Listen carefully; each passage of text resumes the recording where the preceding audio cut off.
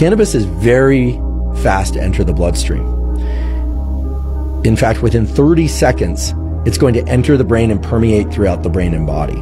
That's very, very fast. I mean, when you contrast that with something like alcohol or even nicotine, depending on how the nicotine is delivered, that is a very fast delivery of the psychoactive and biologically active compound, which in this case is THC and CBD and probably some other things as well.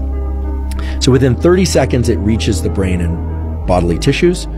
And within 30 to 60 minutes, it's going to reach its peak concentrations and have its peak biological effects. Those aren't always the same thing, but in the case of cannabis, again here I'm using cannabis as a kind of umbrella term for THC and CBD, the effects are going to peak at about 30 to 60 minutes after bringing those compounds into the body in some way or another.